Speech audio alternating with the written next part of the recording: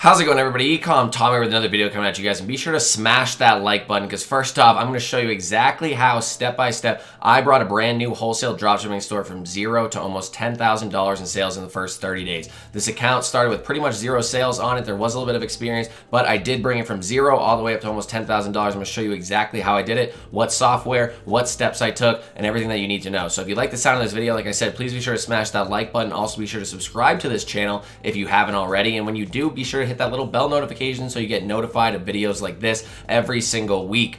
Also, I do have a free wholesale dropshipping mini course down below if you want to learn more about wholesale dropshipping because it is what I think is going to be one of the biggest ways to be making money dropshipping in the future moving forward. And also be sure to check out my new Instagram that I dropped down below. I've been posting two posts on there every single day of new native content. So if you like the sound of this video, please be sure to stick around all the way into the end where I do show you a software that I almost have never talked about to anyone out there and it's pretty much the backbone of my wholesale drop shipping store. So let's go into my computer and I'll show you exactly the results. All right, so here we are inside of my store, and as you can see, it says $9,200 in sales in the last 30 days. So first off, I had to take one day off because one of my programs got messed up and I had to refix everything. I had to take all my items down off my store. And also, secondly, it is rather early in the morning right now, so I only have $38 in sales on the day, but I do expect to get more over time. So I'm saying it's $10,000 in sales in the last 30 days. So this account was started up a little bit ago when I was making my wholesale dropshipping course, but I, and I ended up making some sales on it. That's why there's more in the last 90 days than in the last 30 days but in reality, this account was started from scratch uh, 30 days ago, and then from there, I just listed items, and there was really only about 600 items on the account from here until the, uh, what day is this, the 14th, and then I listed another 1,000 items on the account afterwards. So altogether, there's 1,635 items on this store at the moment, and some of them were picked with Zik Analytics, some of them were not, some of them were just bulk uploaded using the software that I'll be talking about in the PowerPoint after this. So all in all, I'm pretty happy with it. I'm gonna show you exactly how much profit I made, exactly what programs I'm using, and how to do so as well. Because as you can tell, this is a new store. How did I list so many items? I'll go over that as well, exactly how I did it, and what tips and tricks I have for you guys. So be sure to stay into my PowerPoint where I do show a software that I almost never talk about, and I'll see you guys inside. Thank you. All right, before I get into the PowerPoint, I just wanted to make sure that I showed you the profit sheet. This is my whole entire profit sheet laid out. I'm gonna break down everything, you know, in the next PowerPoint slides. But what I wanted to show you is that this profit sheet pretty much just shows literally everything with zero bias or anything that I'm trying to cover up here. Like I even highlighted right here that there was a $800 item that I sold for a thousand some dollars, but I had to pay a ton of money in shipping costs because of the fact that I didn't realize that they were in Alaska and my shipping settings were set up wrong at that point in time. I even calculated in the negative profits that come in with cancellations because PayPal does not give you back your PayPal fees. You know, every single time you cancel an item, you do lose money. And then there was one item that I did actually lose money on. You know, the profit margins weren't the highest because this is a learning phase. This was a learning phase for a brand new supplier that I was using. So I just wanted to make sure that everything was as transparent as possible. And now we're gonna make sure that we go forward and look into my PowerPoint where I break everything down for you. So let's check that out. All right, so here we are inside of my PowerPoint. Like I said before, please be sure to smash that like button. Also subscribe to this channel and hit that little bell notification button to get notified every single time I drop a video multiple times a week. And I do have a question for you guys before we get started. Have you started your wholesale dropshipping journey yet? If you have, let me know in the comments down below. If you haven't, also let me know what is holding you back. So let's get into it finally. The overview, there was 143 orders on that sheet that I showed you guys over the last 30 days. The average order cost was $59.43. So there's some expensive ones. There was also a lot of cheap items in there. So, you know, it did average out to that. And this was without shipping. This was just the cost of the item itself, not shipping, not sales tax. That's just, you know, going straight up item price. There was three canceled orders. That basically was just people that wanted that bought the wrong item or they didn't want it or whatever the reason was. You know, these were a lot of marine parts. Like I said, this whole entire one, what this whole entire store was run off of the the wholesale supplier that I've showed in multiple other videos called CWR Distribution or Electronics or whichever name they're going by that day. Um, so you know, there's a lot of different parts and pieces and stuff where people you know are hemming and hawing over if it was the right one or if they got the wrong one. So that's why there there can be some cancellations there. There was one negative price uh, profit order, and I'm assuming that was just because of slow repricing because of the fact that after the order was ordered, I checked back later, and I do have auto ordering set up, and I'll explain that as well. I checked back later, and the price had actually already jumped to its new price, where it would have been profitable if it sold at that price. So I'm assuming what happened was that the re- repricing was too slow, maybe a couple minutes or whatever. The person was, you know, opportunistic and capitalized at the right point in time. But I do believe it was only for like negative two dollars or something. It was like or negative 80, 80 cents. I, I, forget, but it was not that big of a negative profit. And then this is the profit from the sales. So basically, let's break down the profit from the sales. Eight hundred six dollars and sixty four cents. If you check in the last or uh, how I showed you earlier, there was about ninety two hundred dollars in sales. You have to realize that um, I did 806 divided by 9200. It's 8.7% profit, but technically it is higher than that because you have to realize that first off, there was a couple canceled orders. And the overall profit for what I'm selling the items for is going to be higher than that. There was one negative profit order, but also the mistake that it was like $80 shipping to Alaska when usually it was only uh, seven or so dollars. So I really didn't make that much money on that item. So there was a couple mistakes. So mistakes obviously made the profit lower. Me, you know, having not really used this supplier as much in the past, or at least, you know, full blown using them uh, on a brand new store, I did mess up a couple settings right off the bat. That's why I had to take down my items for a bit. And that's why a couple of them sold for negative profits and also lower profits until I adjusted them later on down the road. Also, the fact that I didn't have 1,600 items up listed the entire 30 days. Was only like 600 items for a little bit. Then I uploaded another 1,000. And the fact that when there's $9,200 in sales, eBay calculates into that the sales tax. And sales tax is not something that you I, I paid or took in. You know, I, I, collected it because eBay collected it for me for the most part, and then I remitted it. So it's pretty much a take in and a giveaway. Technically, it was around 10% profit if we wanted to actually get into the nitty gritty of it. But again, over time, I, I, definitely uh, expect that to go up just with more items, more experience with the supplier. And then also calling up the supplier, I did also manage to get in contact with somebody that I do expect to be able to give me cheaper shipping prices. I mean, not shipping, just item prices later on down the road. So those are all techniques you need to take into consideration. The marine um, industry is usually a lower margin industry from everything that I've been told and everything that I've experienced. So items listed, there were 1,700 items bulk uploaded. So again, 1,700 items bulk uploaded and you know, about $800 or so in profit for the first month is not bad at all. You know, it's a proof of concept and you can start adding in new suppliers, more items from that supplier, other suppliers with more items, and you know, start to really take it to the next level. And that's what I'm working on at the moment. So I want to talk about the software I use. So basically, I never really talked about this software before on uh, on YouTube whatsoever. So this is pretty much the first time I've unveiled it to the public in a video setting like this. I think I've mentioned it a few times on a live. So the stock and inventory software is called Inventory Source. Inventory Source is a program strictly for wholesale dropshipping that we teach mainly exclusively inside of our wholesale dropshipping course. Like I said, if you are interested in getting started with wholesale dropshipping, check out the free course down below. And also if you're interested in the course, have any questions on it, just don't hesitate to ask me whatsoever.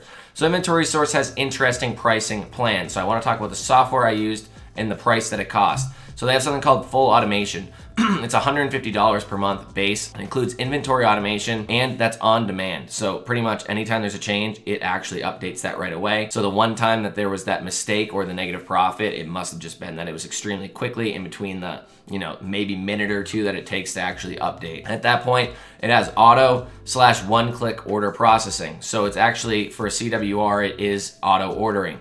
So I did not have to order any of these items myself. You know, once I got it set up, I think I did the first like couple by hand. Um, and then once I got it set up, I was good to go. Everything was fine. Works pretty much autonomously on its own. Sometimes if the address is messed up or something like that, then you know you have to go in there and actually manually order it yourself. There's multi-supplier split order routing. Again, I don't really deal with any of that because there's only one supplier. Auto sync shipment tracking. So it literally auto uploads tracking numbers for you. Uh, negates the need for TrackerBot. Also, the supplier is not covered in TrackerBot if you do use TrackerBot at all. So that doesn't really matter. And then another cool thing about it is that it covers multiple suppliers. I think each supplier after that 150 is like if you want to add another one in, it's only $25 a month. So if I wanted two suppliers, then it would be 175 a month altogether. Again, I do have a coupon code down below. Check that out. I believe that's gonna get you 20% off nonstop, recurring over time. And you know, that's it's a pretty big deal considering the software can get a little pricey. But again, 1,700 items listed. I did $800 in profit. This supplier has like 25,000 uh, items itself. I can upload all of those. Also, not to mention, at this very point in time, I'm not sure what time you're watching this video, eBay does have a 50,000 free item listing uh, going on because of the, uh, you know, like a stimulus package because of COVID-19. So all the listings that I put up were actually free. so I didn't have to worry about that. So sourcing software, I did use a bit of Zik Analytics. Uh, that was just for a bit. Again, I did not use any virtual assistants on this account. This was all run by myself. I, I didn't, I used Zik Analytics for a little bit, found some items. I then decided to say, screw that, I'm gonna make an item sourcing robot. So that's why this little robot is right here. This is decently advanced, but again, it wasn't that challenging to do. If you look up the program Octoparse, it's free for a small limited amount of plan, um, and you can actually create robots that scrape the web. So what I would do is I would put a person that I knew was drop shipping, the supplier that I wanted to use, CWR, and at that point in time, I put them into Zik Analytics. I got their store, and then I used Octoparse to scrape every single item out of their store, and then I used other code to, you know, get the specifics out, and then actually just match it to the supplier's just inventory sheet. So it was pretty quick. That's how I got all these items so quickly. And, you know, that's pretty much why it was so easy to get done. You can bulk upload using inventory source. Um, so nothing was really manual whatsoever. So I'm sure there's a lot of questions that are coming with something like that. So please ask them down below. I'm sure you have a lot. The total software cost is about 175. And again, the 175 is going to cover whether I upload, uh, you know, 5,000 more items, 10,000 more items. So it's only going to scale and become more profitable from here. So techniques that I utilized, I want to tell you guys the exact techniques that I used. I used bulk sniping off of other stores with Zik Analytics, created a bot to scrape people's sold items. So again, a lot of these people are doing the same method I am. They have like CWR, a couple other maybe marine suppliers, other suppliers out there, electronic suppliers, and they're pretty much bulk uploading, uh, you know, thousands, tens of thousands. I've seen people with 100,000 plus listings onto their store. So they're selling a lot of items that are, you know, just kind of random. At that point in time, scraping their store with a robot makes a lot more sense than, you know, really trying to niche down and find the nitty gritty good items and stuff. It's just a lot easier to, to bulk find items. So find good wholesale suppliers. That was one thing I did right off the bat when I found CWR. I really liked them in the long run. And again, I really haven't used them too, too much. I made some videos about them, but you know, this was the first like month that I really just like niched down and used them and really tried to figure out everything about them. So they can be just as good as retail suppliers, I realized. Everything that a wholesale supplier has, as long as it's a good wholesale dropshipping supplier, should be pretty damn equivalent to what a retail supplier like, you know, using a Walmart onto onto eBay would do. You know, they have fast shipping, faster handling time than any other handling time I've seen out there. I could probably qualify for top rated plus, which is another thing that I plan on doing in the future. They get out their items within like a couple hours of you actually ordering it and it's auto ordering. So again, you have to realize the biggest issue in the past with getting items out on time is if you're not sitting there with your retail dropshipping store is that, you know, you need to have virtual assistants ordering them they're in a different time zone, 12 hours off. You know, maybe your item got ordered at 7 a.m. your time, but doesn't actually get processed until like 8 p.m you know, your time uh, later on that day, you know, early in the morning for the virtual assistance time, and then, you know, it doesn't actually get out until like two days from then because it was ordered so late that night. You need to realize that that's a thing, and to, you know, the auto ordering really does actually help a lot with that. They offer competitive pricing and a great return policy. I haven't been hit with a restocking fee yet on any returns, and the returns did come in afterwards. Shipping prices are variable. You need to keep that in mind. So one of the biggest things I realized about them is that they have a flat shipping fee of $7.95 if you want. They call it best way shipping. But they also have smaller items that can go USPS first class. USPS first class is usually cheaper than $7.95. So I split items up between first class and between not first class so that I could put the proper shipping policies on there so that I can actually be competitive on the cheaper lighter weight items. Just pretty much a technique I use is you want to check out the inventory source suppliers list, find a good supplier, test it out. If it's good, snipe other people that are selling from that supplier, bulk list, and repeat. So that's pretty much what I'm in the process of at the moment, finding new suppliers, listing their items, and whatnot. So there's going to be some key differences. What are the key differences between wholesale and retail dropshipping? First off, when I uploaded these items onto my wholesale store, not a single item was optimized whatsoever. I didn't put in item specifics, and I didn't do any title optimization. I really wanted to see how many sales I could do with uh, you know a certain thousand amount of listings without optimizing whatsoever. So it's pretty much a basic title, no item specifics between besides like UPC and uh, you know brand because you have to do that. Besides that, that was it. Bulk uploading did occur. I literally did bulk upload all of these items. You know, I didn't physically manually list a single one. And uh, some items were most likely not targeted, like I say right here. And I did use API-based software. Inventory Source is API-based stock and inventory monitoring software. But you have to realize this is for wholesale suppliers. If you look at API, the API terms of service that eBay has For retail dropshipping, they say you cannot use API to reprice and stock um, items based off of you know items from a retail or a supplier or a marketplace and other things about retail. But this is wholesale. Some of the ways that I think that they would be able to tell the difference is first off the what what actual software I'm using. Also the fact that you know just bulk uploading is a little bit different. They're definitely scraping for tracking numbers that could be like Amazon's and stuff like that for retail, and that's why people are getting in trouble. That's mostly why I think I did not get in trouble.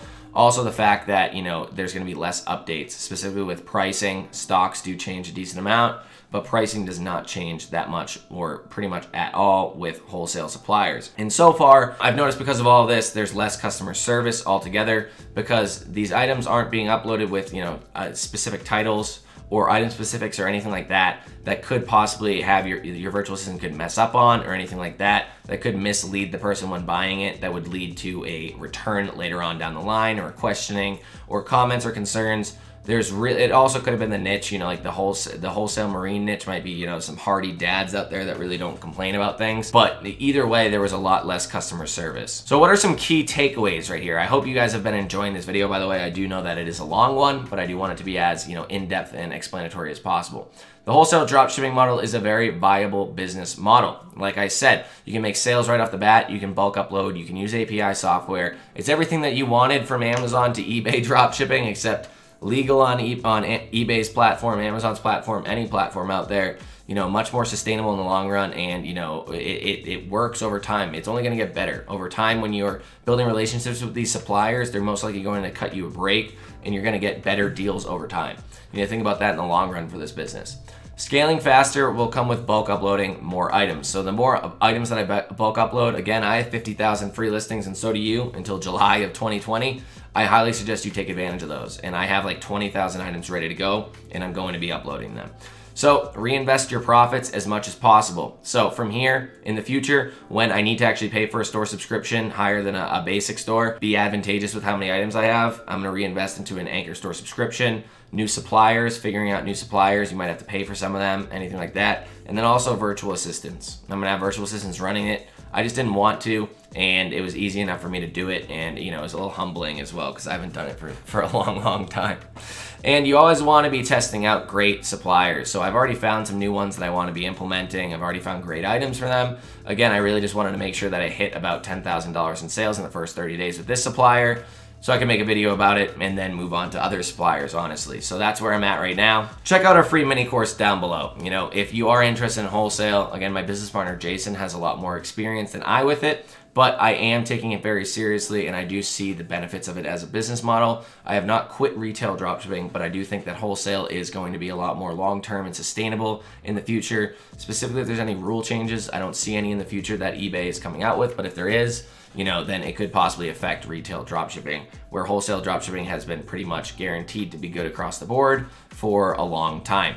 So that's about it. In conclusion, Please post your questions down below. I'm sure there's a lot about what software I'm using, how I created a robot to scrape my store or to scrape other people's stores. You know, anything about that, let me know down below. Don't be afraid to ask questions about this business model. No question's a stupid question, only the ones that you don't ask. Keep that in mind. If you found this video helpful, please be sure to subscribe and hit that little bell notification to be notified every single time I post a video like this. So I hope you, you know, got some inspiration from this. We've had students that bought the wholesale course that followed the methods that we teach with inventory source just like this, and they're doing a couple thousand, thousand plus. Uh, I think uh, 5,000 is the highest I've seen so far. It's a newer course, you know, from students that are doing pretty much exactly what I'm doing at the moment too. So they're getting started, they're taking action, and they're the ones that are reaping the rewards, seeing the results, and getting the benefits over the long run. So again, very viable business model. I was very happy with the way that this, with the, the results of this and pretty much just going to be taking it to the next level. So keep in mind that there's probably gonna be a video of 25, 30, 40, $50,000 with wholesale. Be ready for it and I will see you then. Thanks guys.